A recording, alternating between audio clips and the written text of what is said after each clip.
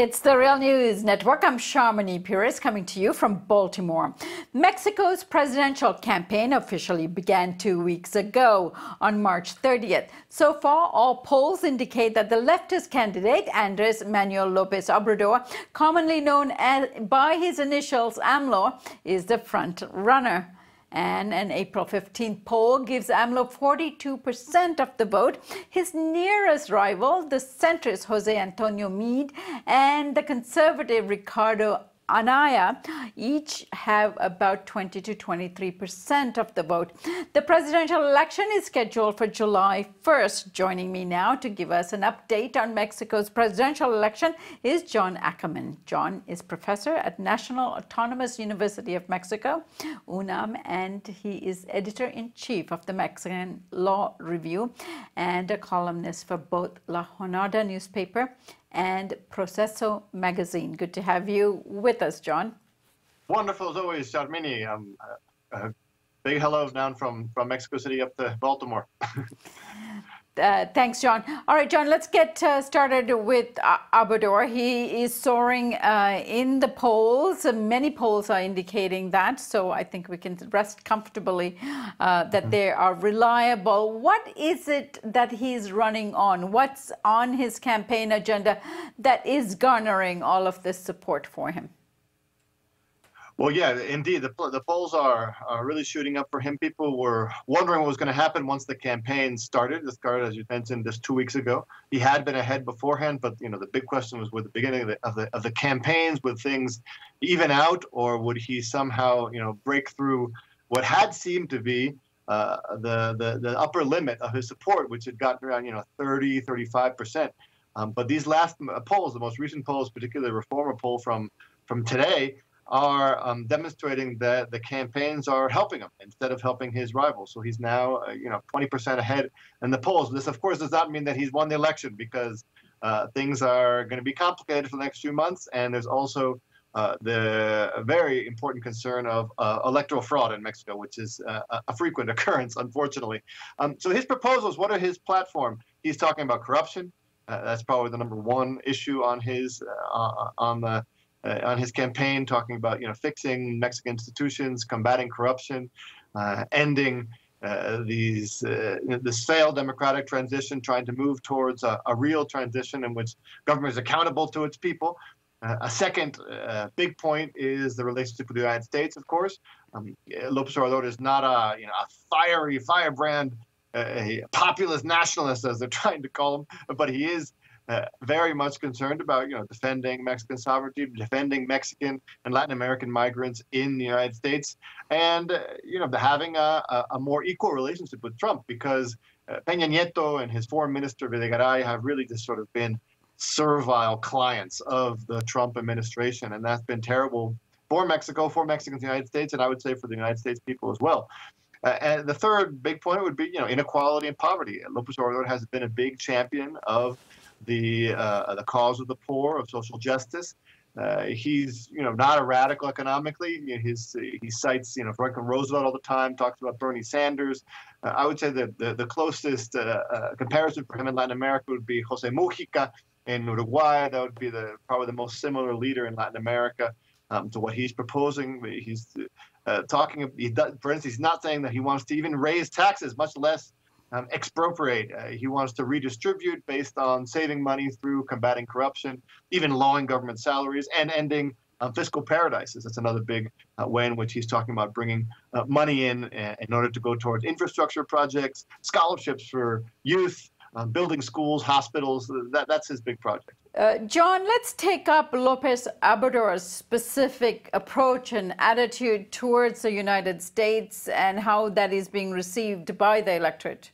So Lopez Obrador is by no means anti-American. He's been very clear about this in his tour last year to the United States uh, to express his solidarity with uh, the Mexicans after Trump's uh, inauguration. He gave talks in Los Angeles, San Francisco, New York, Washington, Chicago, and was very clear that what he wants is a good relations with the United States, specifically with the uh, United States people, even Trump's bases. He says that they've been fooled by Trump himself, and that you know the the the, the humble working people of uh, the United States and Mexico and all the Americas should work together for um, social justice. So he's not been trying to pick a fight with Trump, but he has been much more dignified and um, defending Mexican sovereignty with respect to Trump when you compare this to uh, Peña Nieto, of course. Uh, he, you know, a few last year, last March 2017, went to Washington and presented a case in the American Inter-American Commission of Human Rights against um, Trump's executive orders of January 25th of 2017, uh, which basically called for mass expulsion of Mexican and other migrants from the United States. Uh, he has requested the United Nations to intervene in the dispute between Mexico and the United States, specifically around the issue of the border wall. And so, yeah, he's going to stand up for Mexican rights. But once again, he's not looking to pick a fight from Trump or with the United States at all. He's trying to look for good relationship. He has not come out against NAFTA, for instance. He's come out in favor of, you know, updating NAFTA with more uh, uh, labor protections, environmental protections. He's even publicly, you know, taken Trump's uh, offer of you know, equaling this minimum wage in North America as part of, of NAFTA. You know, Trump has said that you know, he doesn't want to do NAFTA because this would bring down salaries in the United States. That he would only do it if there was if we equaled the minimum wage in the United States and Mexico. And so Trump, so Lopez Obrador said, "Hey, yeah, that sounds like a good idea." So, you know, he's playing this strategically. He's not looking to separate Mexico from the United States. He's looking to construct a more just and fair North America. John, let's turn to the other candidates who are running. The two other main candidates are Anaya and Meade. Now, I understand a new candidate has been introduced, Bronco. Uh, his uh, real name is Jaime Rodriguez Calderon. Uh, give us a sense of how they are doing, and of course, uh, who is a serious opposition opposition candidate here? Well, well, the serious opposition candidate is Lopez Obrador. That's the, the, interesting thing. He's he's way ahead in the polls, but he is the opposition. That's what defines him and distinguishes him from the other candidates. The other candidates are all very close to the the ruling system. All four of them. Uh, Jose Antonio Meade is the candidate of the PRI, which is the officially the ruling party, Peña Nieto's party.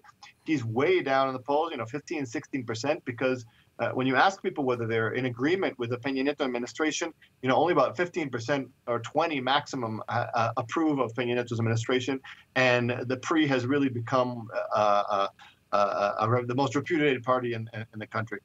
the other candidate who has some support in the country is Ricardo Anaya. He's cobbled together a rainbow coalition of the the, the PAN, which is the right wing party, the right Christian Democrats, the PRD, which is the old, what used to be the left party, but today has, you know, basically been replaced by Morena, which is Lopez Obrador's party. But the remnants of the PRD has come over and is now supporting the right wing candidate, uh, uh, Ricardo Anaya, who comes from the PAN. Very interesting.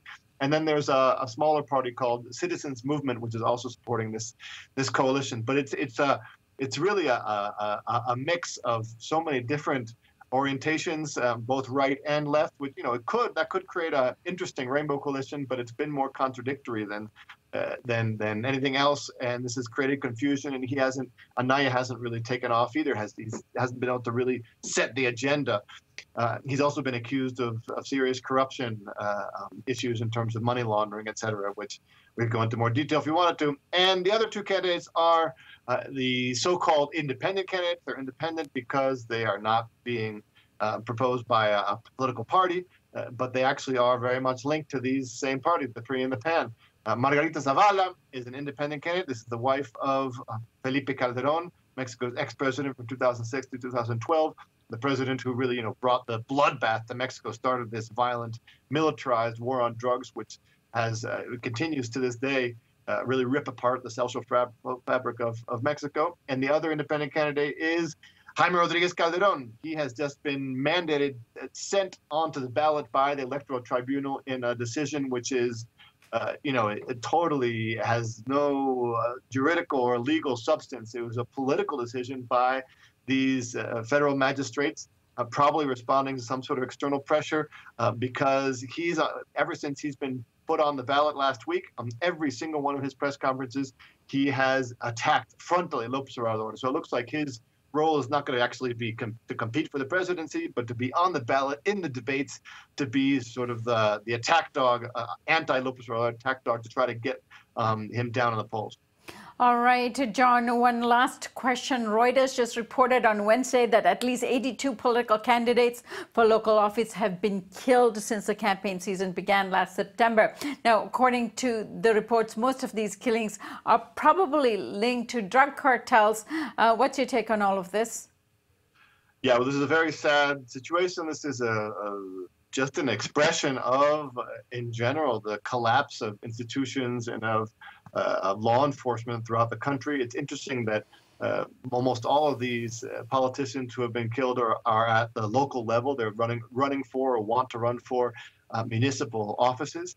Uh, that's that's the really important level of control that the narcos want to have over you know local police officials, local uh, you know, tax collectors or anyone who's doing any kind of supervision at the local level so that they can have, you know, freedom of of movement. And if you don't, you know, cut deals with these guys, then, you know, you the the the the, the bullet or silver or the bullet, and you know, plata o plomo is the expression in Mexico. If you don't accept the bribe, um, then you'll either be pressured or if you don't accept that either, then you'll be you'll be killed. And so this is uh, just a demonstration of, of institutional collapse in the entire country uh, and the real need to, uh, you know, whoever wins in July 1st to take that on as the number one issue in the, the, future of Mexico, uh, trying to combat impunity, um, trying to put Mexican institutions back on their feet. Uh, and we hope that this this violence doesn't have too much of an effect on the elections themselves, in terms of you know the election day. Uh, you know, if, if if the violent elements who are not independent of politics, by the way, these aren't just narcos. Most narcos are protected by